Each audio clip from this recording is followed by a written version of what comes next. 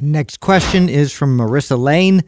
We're often told to cut sugar from our diet, but considering sugar seems to be in almost everything and is often hidden, where do you even begin? You know, you know what's interesting about sugar is that the definitely has negative health effects in the context of a, a, a calorie surplus, a high calorie diet.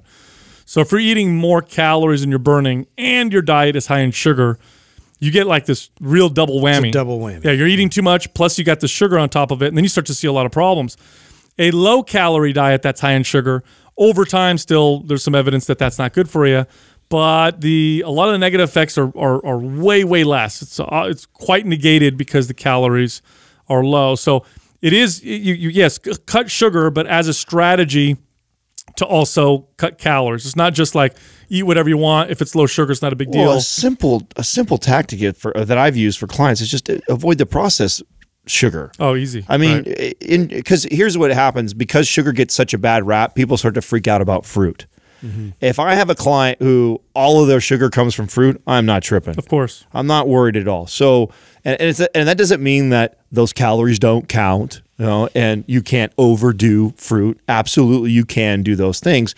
But I think the first big step in, in addressing too much sugar in the diet is to eliminate all the packaged processed bullshit that you're getting. The the Yeah. it drinks that you're probably getting it in, the snacks that you're getting it in.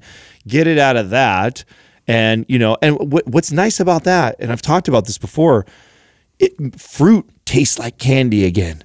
When you get rid of all the the the super, the, and this includes like your your artificial sweeteners too, because those the, what is it, artificial sweeteners? What are they? Uh, five or seven times sweeter than They're way more potent than yeah, they're it's it's five or seven. It's like a crazy number. Yeah. Uh, I think even more than that, maybe. yeah, it's a, it's a lot. Like they're a lot sweeter than even real sugar. So even though it doesn't come with calories, and there's an example of that, right? Like it doesn't come with calories, so we think it's okay to do consume a ton of it, but it, it also changes your palate. Like then when you bite into an apple or have some grapes, they taste bland. So just by getting rid of all the processed sugar uh, and, and still allowing yourself to introduce fruits, uh, I think that's a great strategy. Then the next strategy with with fruit for me is I, I tell clients to target berries first.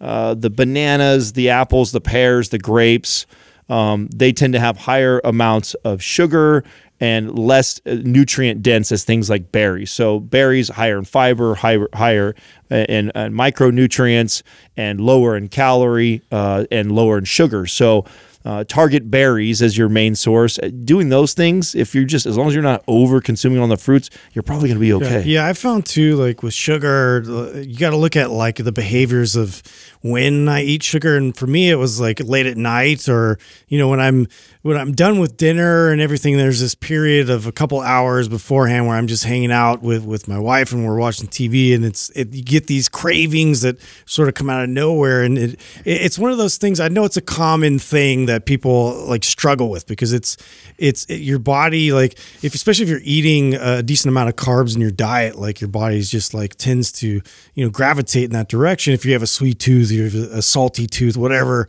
you know the you know your, your propensity lies in terms of like snacky foods. But so i tried to up my fats a bit and up my satiating foods you know especially around dinner time to help kind of carry me through that. Yeah, yeah, a big one is just what you drink. Uh, I, I know when they look at sugar consumption, a huge part of that has to do with sodas and fruit juices. Um, I've done that with clients. Just don't drink any any flavored drinks. Just drink water, Yeah. and their calories drop uh, considering con- considerably, and their sugar drops quite a bit as well. That's the I would say that's the first place to start, and then the processed foods would be the second place. If you do that, you're fine. You're, you're probably going to be. It's like when people ask me about sodium. Uh, what about sodium? If you're not having any processed foods, salt the shit out of your food, you're going to be okay.